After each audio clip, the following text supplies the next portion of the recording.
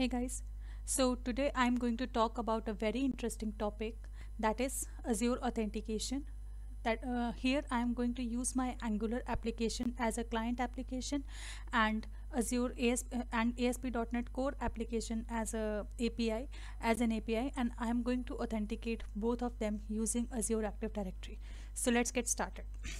So right now I have an application with me which is an Angular application and it is getting authenticated with uh, web API as you can see my API is returning output to me here and uh, it is simply uh, when I'm executing it it is returning API uh, it is returning data from my API and right now I don't have any authentication implemented on it.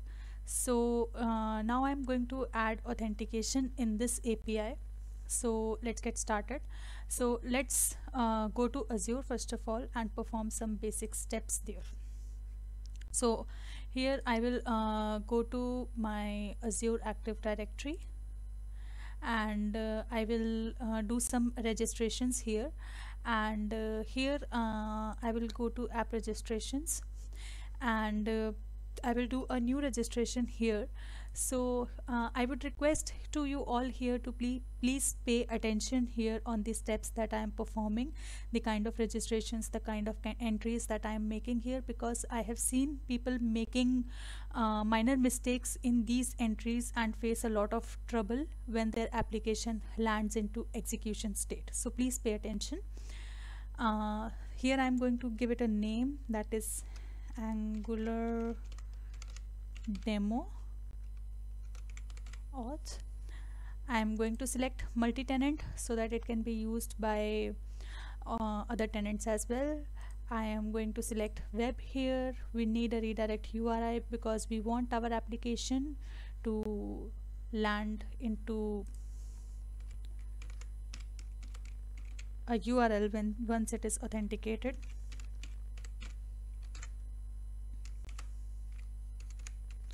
So this is gonna be my redirect URI let me register it. Now I'll go to authentication. Here I can see my redirect URI and I will select these options.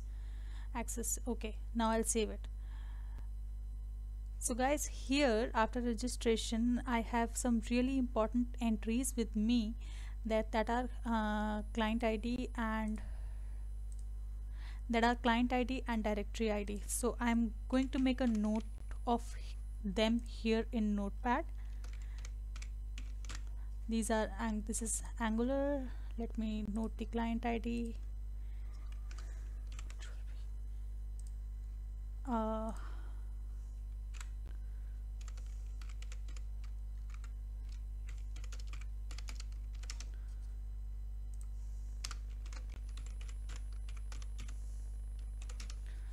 the tenant id will be same throughout the azure part for me. Still i'll make a note of it. Okay so i think we are done with the angular part. Now uh, we are going to do uh, one do one more registration for our api part. So same steps angular active directory app registrations new registration backend api auth multi-tenant. No redirect URI required here because this is a backend application. So let's make a note of this application ID also. API ID here. Okay so now we we are going to uh, click on expose an API because we want this application to be uh, accessed by our client. So we have to expose it by adding a scope here. So let's add a scope. This is uh, the scope we are creating. Let's give it a name here. Let me make it a small case. Or read. Access would be good. Read access read access description description. Okay so we have the scope ready with us. Let's make a note of this scope also.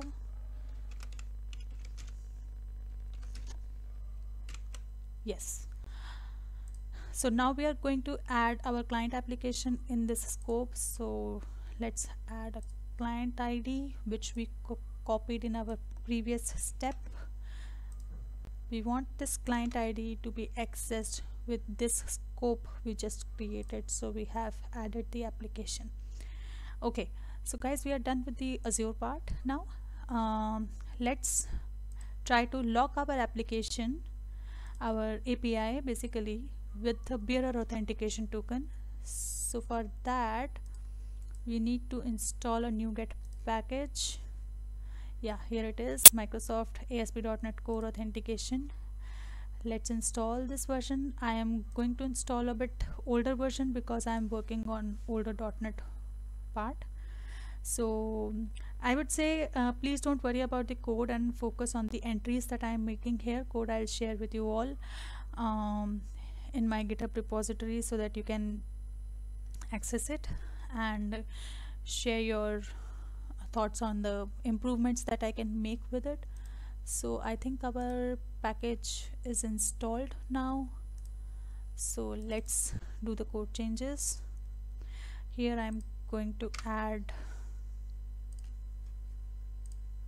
so here we need to add this line of code. We are basically making our web API to accept bearer authentication so this is the thing and here we are going to make add the middleware of authentication. This is fine. We'll make uh, a will mark our controller with the authorize attribute.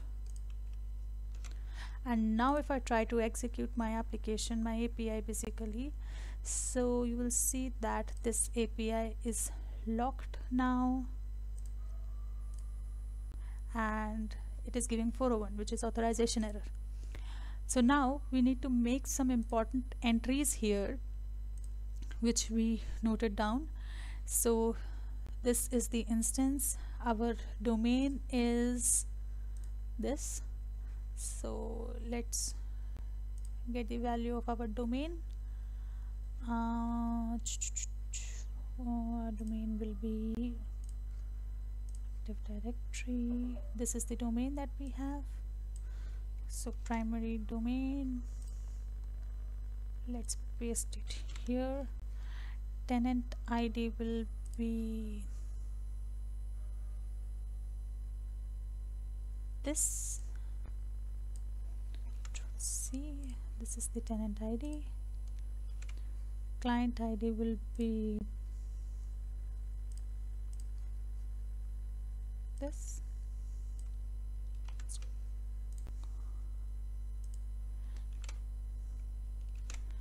And here we are done with the API part. Now let's go to angular part. So in angular here we have to install some let's terminate the existing execution first. We have to do some we have to install a package here which is MSAL Angular. So now we have to install the MSAL Angular package here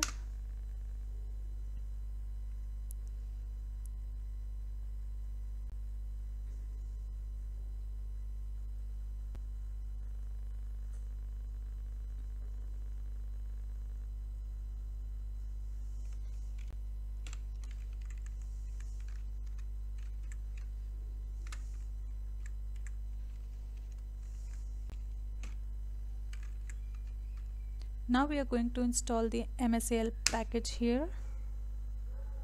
MSAL Angular package. So in the meantime we have to do some entries here. The scope URI will be this that we copied the API scope. Uh, this is the scope URI tenant ID would be as I told you previously the same this is the tenant id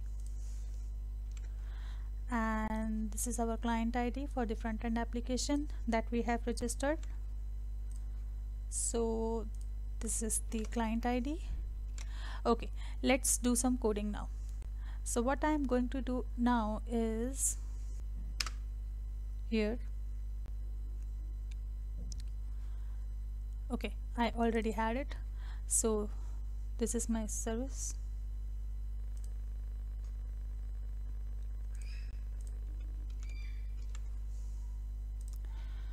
okay now I'm going to add my basic code here. As you can see here in the code I have created uh, a user agent application which is uh, making the authentication call. You can get the code very easily. It's quite easy code. We have to call the access token. We are using MSAL um, MSAL Angular library to get the tokens and everything. The coding part is uh, quite simple for this so I'll share the uh, link of the code with you all uh, in the description box so that you can take a look at it. It is a sim very simple code we are creating a user agent application and we are providing the basic details that we have uh, entered in the environment uh, file environment.ts file. So yeah I'm going to add some routes here. So routing code is this so it is same as previous code. The only thing that I have added is I have uh, imported the MSAL guard here and I have added the guards in the routes array here. Next I'm going to do changes in app.module.ts so here you can see I'll be adding MSAL imports uh, import of MSAL module I have done already. Here I have added the mapping of environment based URL in scope URI here I am defining my client ID my authority and everything which I have defined in my environment variable. So uh, I'll share the code with you so that uh, things are quite uh, understandable. Uh, but next I'm going to generate a data service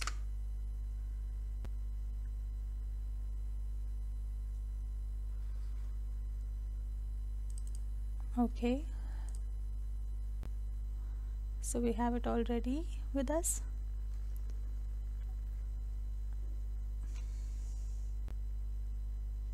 In this data service we have uh, done a very basic thing.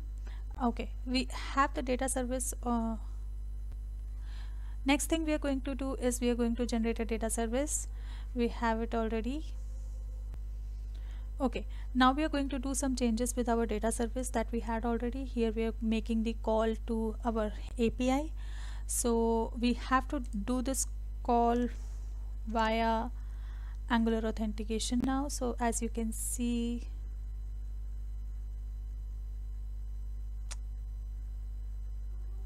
we have the bearer authentication added here.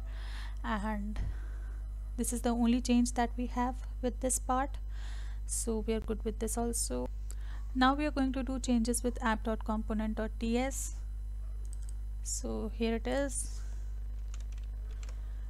Here we are just going to uh, do them some some basic calls we have created is logged in property here on the basis of which we are going to display the table the basic angular thing. And the final thing is app.component.html we are going to make changes in the display of the table according to the login property that we created. So let's try to save all and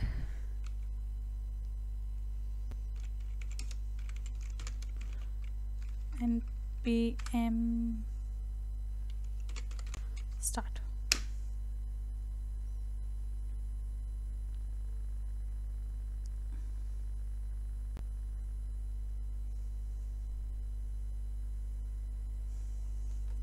okay.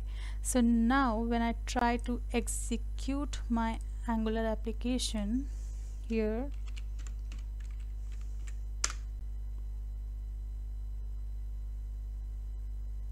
it is asking me for an AD authentication. I am going to provide a consent here. This is a one-time activity. So so here we can see that our data is now loaded. Um, we, we are getting authenticated with a bearer authentication. So these are the basic steps that we have to follow uh, to do the authentication. Uh, so guys please let me know if you uh, like my video. Please uh, like my video and uh, click on the subscribe button so that we can bring some more interesting content related towards your authentication to you all. Thank you very much